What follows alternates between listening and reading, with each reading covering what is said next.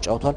ያኔ የሀገሪቱ እግር ኳስ በጣም ዝቅተኛ ነበር። ዘንድሮ ግን ከሁሉም ሀገራት አስቀድማ ማለፏን ያረጋገጠች ሀገር ሆናለች። ቦትስዋና ጠንካራ ሀገር ነች። ሌላኛው የኢትዮጵያ ብሔራዊ ቡድን ተቀናቃኝ ደቡብ አፍሪካ ነው።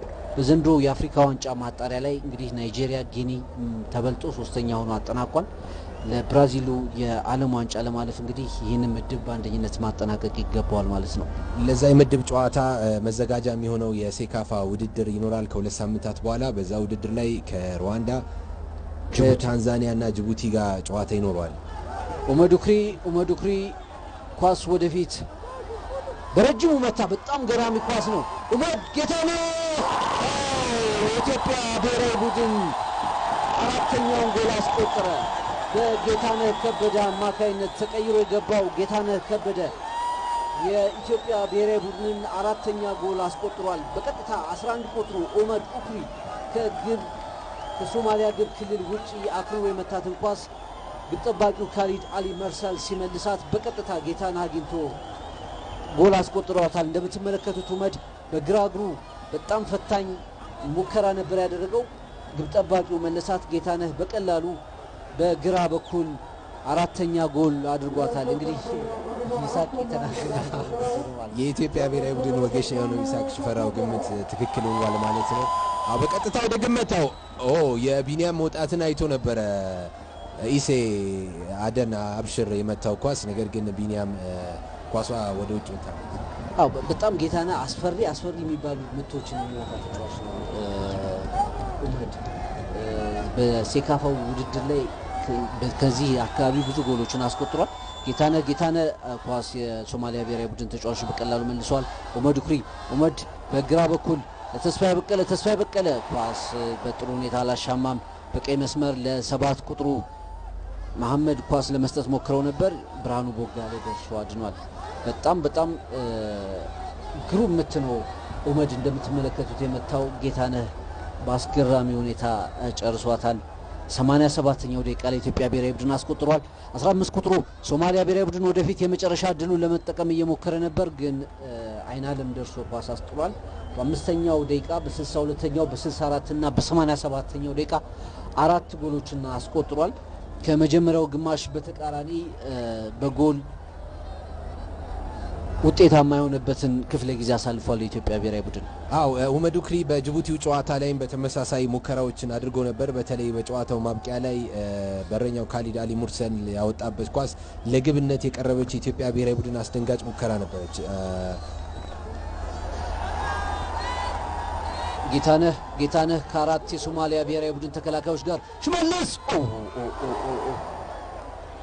በቀጥታ በቀጥታ ጎል ነበር የመታው። ግን ተከላካዩ ቁጥር ሶስቱ ያሲን አሊ ሽመልስን ያለ ኳስ በቀጥታ ሄዶ በመግፋቱ ምክንያት ቱኒዚያዊ ዳኛ የሶስተኛውን የቢጫ ካርድ አሳይተውታል። ተስፋ መቁረጥ ያለ ነው ይመስላል። በዚህ ቁመት እንዴት ጉድ ትሰራናለህ አይነት ነገር ነው አው አራት ቁጥሩ አብዲከሪም አቡከር ኑር ነው ቢጫ ካርዱን ያየው። ሶስተኛውን ቢጫ የተመለከተው ተጫዋች ካሊድ አሊ ማርሳል ጨዋታው ተጠናቋል። መደበኛው የጨዋታ ክፍለ ጊዜ ተጠናቋል። ዳኛው ተጨማሪ ሰዓት አሳይተዋል። ሶስት ደቂቃ ያህል ጭማሪዎች ያሳዩ ይመስላል። የኢትዮጵያ ብሔራዊ ቡድን በሁለተኛው ግማሽ ላይ ሙሉ ለሙሉ የጎልም የጨዋታን ብልጫ ወስዶ በመጀመሪያው ግማሽ የነበሩትን ስህተቶችን አርሞ አራት ጎሎችን በማስቆጠር ሶማሊያን ማሸነፉን ያረጋገጠ ይመስላል። ሶስት ቀሪ ደቂቃዎች ብቻ ነው የሚቀሩት። አበባው ቡጣቆ በቀይ መስመር ለተስፋዬ በቀለ ተስፋዬ በቀለ ለብርሃኑ ቦጋለ ብርሃኑ ቦጋለ ወደፊት በግራ መስመር ለአበባው ቡጣቆ አበባው ቡጣቆ ረጅም ኳስ ኡመድ ኡክሪ በግራ በኩል አሻማ አሻማ አሁንም ጌታነህ በጣም ያለቀለት ኳስ ነው የሳተው። ሶስት ደቂቃ ተጨማሪ አሳይተዋል ዳኛ። የኢትዮጵያ ብሔራዊ ቡድን ዛሬ እውነቱን ለመናገር ከስምንት እና ከዘጠኝ ያላነሱ ጎሎችን ማስቆጠር ነበረበት። አዎ እንደ ሶማሌ ብሔራዊ ቡድን አዎ ይቺ ኳስ ጌታነህ መደገፍ ብቻ ይቀረው ነበር ኳሷን። ነገር ግን እየገፋውም ስለመጣ ይመስለኛል ወደ ውጭ አውጥቷታል ኳሷን።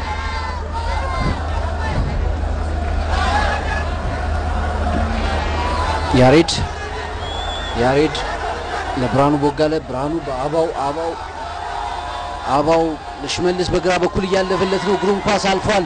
አሁንም ሌላ ድል ነው። አበባው ብጣቆ በጣም በጣም ገራሚ ኳስ ነው። እንደገና አበባው አሁንም ከግብ ክልል አልራቀችም። በጣም አስቂኝ አስቂኝ ኳሶች ናቸው እየመከኑ የሚገኙት። ያሬድ ዝናቡ ሁለት ደቂቃዎች ያህል በመጨረሻዋ ደቂቃ የኢትዮጵያ ብሔራዊ ቡድን የመጨረሻ ሙከራውን ለማድረግ አሁንም እንቅስቃሴ ላይ ነው። በግራ መስመር ከጨዋታ ውጭ ነው በሚል ቱኒዚያዊ የመስመር ዳኛ ምልክት አሳይተዋል። በእርግጥም ከጨዋታ ውጭ ነበር። በአጠቃላይ ሁለተኛው ግማሽ ከመጀመሪያው ጋር ሲነጻጸር በጣም ትልቅ ለውጥ አለው ማለት ይቻላል። በውጤት ደረጃ ትልቅ ለውጥ አለው፣ ግን ከዚህ በላይም ግን ማስቆጠር ይችላሉ። አበባው ብጣቆ ያገኘውን እድል ራሱ ሁለት ሶስት ጊዜ አግኝቶ ነበር penalty box ውስጥ ከአማካኞች በተለይ ከሽመልስ በቀለ የሚያገኛቸውን አጋጣሚዎች የመጠቀሙ ነገር አታስተውልም። አሁን የመጨረሻው ሙከራ ራሱ በብስለት ከጎኑ ላለው አጥቂ ቢሰጠው ለጌታነህ ከበደ ግብ የሚሆንበት አጋጣሚ ይፈጠራል። ያም ቢሆን ግን በጣም በጣም ጥሩ መሻሻል ነው የኢትዮጵያ ብሔራዊ ቡድን ያሳየው። በተለይ ሁለተኛ ጨዋታ አጋማሽ መሱድ መሀመድ ተቀይሮ ከገባ በኋላ ግቦች ተስተናግዷል።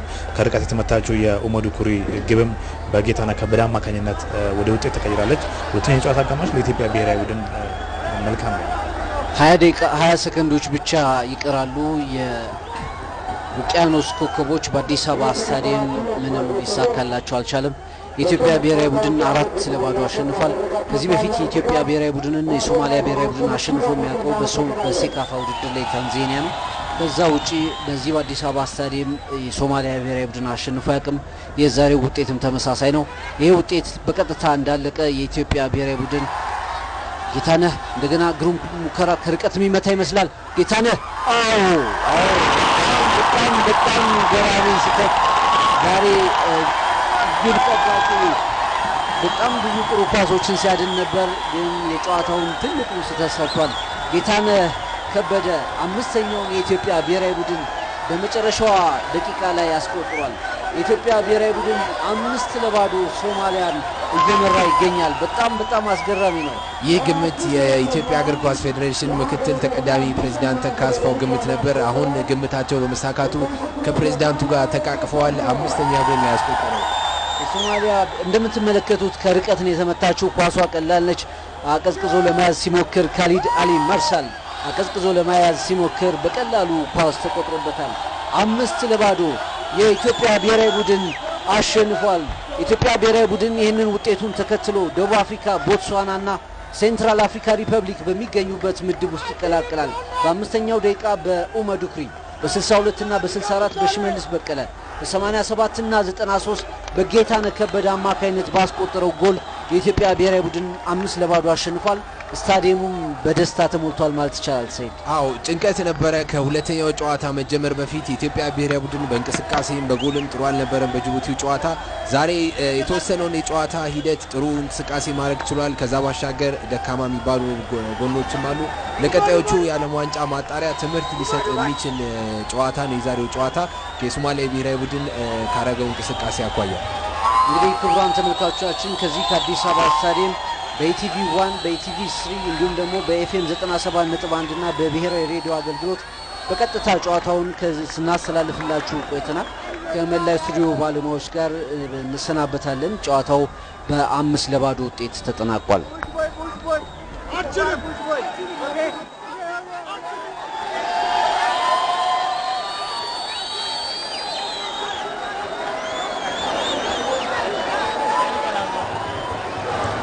እንግዲህ ተመልካቾቻችን ቀደም ሲል እንደተከታተላችሁት በአጠቃላይ ሙሉ ጨዋታ የኢትዮጵያ ብሔራዊ ቡድን አምስት ለባዶ በማሸነፍ ደቡብ አፍሪካ እንደዚሁም ቦትስዋና መካከለኛው አፍሪካ ከሚገኙበት ምድብ ውስጥ መቀላቀሉን አረጋግጧል። ከጥቂት ደቂቃዎች በፊት ማለት ነው። አምስት ለባዶ ነው። ከረፍት በፊት አንድ ለባዶ ነው የነበረው። እንግዲህ ከረፍት መልስ አራት ጎሎች ነው የተቆጠሩት። ምን ቢፈጠር ነው ከረፍት መልስ አራት ጎሎች የተቆጠሩ? ግልጽ ነው። ሽመልስ በቀለና መሱድ መሐመድ ተቀናጅተው መሃል ሜዳ ላይ በአጭር ኳስ መጫወታቸው ነው ጎሎቹን የፈጠሩት። እንዳለ አራቱንም ጎሎች የምንመለከት ከሆነ በአጭር ኳስ የሄዱ ናቸው።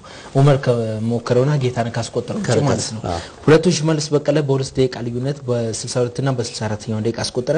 ከዛም በስድስት ደቂቃ ልዩነት ደግሞ ጌታነህ ከበደ አራተኛውና አምስተኛውን ጎል አስቆጥሯል።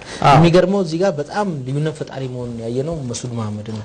ከሽመልስ በቀለ ጋር በጣም ተቀራርቦ ተጫውተዋል፣ ተግባብቶ ተጫውተዋል። ከዛ በላይ ደግሞ ብሔራዊ ቡድኑ በአጠቃላይ በአጭር ኳስ መጫወቱ ተከላካዮች ወደፊት እንዲሄዱም አድርጓል።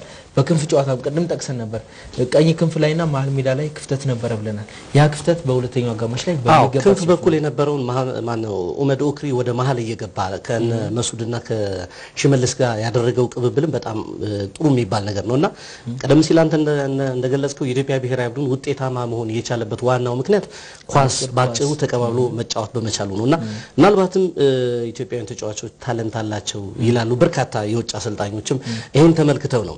ስለዚህ ረጅም ኳስ ለኢትዮጵያ ብሔራዊ ቡድን ወይ ደግሞ ለሀገራችን ተጫዋቾች የሚበጅ አይደለም። በአጠቃላይ ግን ከረፍት መልስ አሰልጣኝ ሰውነት ቢሻው የሰሩት calculation ሰርቷል ማለት እንችላለን። ሌላው በተለይ የማናልፈው ነገር ምንድን ነው? የመከኑ ኳሶች ፍቅሩ ተፈራ፣ ጌታነህ ከበደ አንዳንድ ኳስ እንዲሁም አበባ ቡጣቆ ሁለት ኳስ ስተዋል። ይህ እንግዲህ መታረም ያለበት ነው። ምክንያቱም ዛሁን የተመዘገበውን ውጤት ብቻ ሳይሆን ማየት ያለብን በቀጣይ የሚገጥሙት ተጋጣሚዎችን ስናይ ቦትስዋና የመጀመሪያው አፍሪካ ሀገር ናት ለአፍሪካ ዋንጫ ማለፏን ያረጋገጠች። ሴንትራል አፍሪካ ሪፐብሊክ በአሁኑ ሰዓት ጠንካራ የእግር ኳስ ደረጃ ያላት ናት። ደቡብ አፍሪካም በጣም የካበተ ልምድ ያላት ጠንካራ ሀገር ናት። ፍርዳው ቃል በምስሉ ላይ እንደምትመለከተው እንግዲህ የደጋፊዎች ስቴዲየም የነበሩ ደጋፊዎች ጭፈራ በጭፈራ ደስታቸውን እየገለጹ ነው የሚገኘው። በአጠቃላይ ግን የኢትዮጵያና የሶማሊያ ብሔራዊ ቡድን ጨዋታ የደርሶ መልሱን ስናይ በቴሌቪዥንም አይተናል። የመጀመሪያውን ጨዋታ አሁን ደግሞ የመልሱን ጨዋታ አይተናል። የኢትዮጵያ ብሔራዊ ቡድን መጀመሪያ ላይ ያስመዘገበው ውጤት ብሔራዊ ቡድኑን የሚገልጽ እንዳልነበረ የዛሬው ጨዋታ ምስክር ሊሆን ይችላል። ምክንያቱም አልተጠበቀም። የሶማሊያ ብሔራዊ ቡድን በጣም ዝቅተኛ ግምት ከሚሰጣቸው ምክንያቱም የተለያዩ ምክንያቶች አሉ ብለን በተደጋጋሚ ገልጸናል። ስለዚህ ይሄ ጨዋታ በትክክል የኢትዮጵያ ብሔራዊ ቡድን የሚገልጽ ነው። እንዳየነውም ደግሞ የኢትዮጵያ ብሔራዊ ቡድን በአጭር ቅብብል ከተጫወተ ውጤታማ ሊሆን እንደሚችል እነ መሱድ አሳይተዋል እና አሰልጣኝ ሰውነት ቢሻው ከረፍት መልስ የሰሩት ስራ መልካም ነበር የሚባል ነው። በተለይ መሱድ መምጣቱ ኡመድ መሀል ላይ ወደ መሀል እየገባ መጫወቱና የአማካዩ ክፍል መጠናከሩ በጣም ውጤታማ እንዲሆን አስችሎታል። እንደምናውቀው መሱድ ማለት መሱድ ማህመድ ማለት በኢትዮጵያ ቡና ከዳዊት እስጢፋኖስ ጋር የሚያደርጉት ቅብብል የሚያደርጉት ጨዋታ ምን ያህል በደጋፊው በቡና ደጋፊም ሆነ በእግር ኳስ አፍቃሪያን እንደሚታወቅ እናውቃለን። ያንን አጨዋወት ነው አሁንም የተከተሉትና ይሄ እንግዲህ ወደ ቀጣዩ ዙር አሳልፏቸዋል። መልካም እንግዲህ ኢትዮጵያ የኢትዮጵያ ብሔራዊ ቡድን ከኛ ከባህላችን ወይም ደግሞ ከአጨዋወት ዘይቤያችን ጋር የሚሄድ እግር ኳስ መጫወት አለበት። የአጭር ቅብል ነው። ሁለተኛ ደግሞ ከስህተታችን መታረም አለበት። ስህተት አለመስራት አይቻልም። እየተጫወቅ ግን ከስህተት መታረም ምንድን ነው?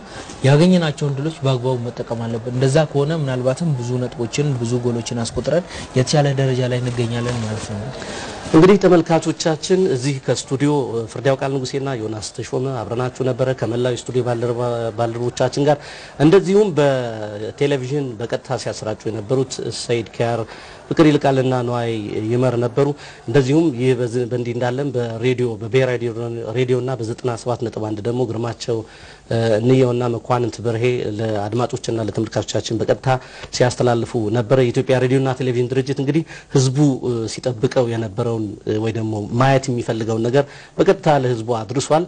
በተመሳሳይም እንግዲህ የኢትዮጵያ ፕሪሚየር ሊግ ህዳር 17 ይጀመራል። በዚህ አጋጣሚም የተመረጡ አንዳንድ ጨዋታዎችን በቀጥታ ከኢትዮጵያ እግር ኳስ ፌዴሬሽን ጋር በመተባበር ለተመልካቾቹ የሚያደርስ መሆኑን በዚህ አጋጣሚ መግለጽ እንወዳለን። ስለተከታተላችሁን እጅግ አድርገን እናመሰግናለን። መልካም ጊዜ፣ መልካም ምሽት።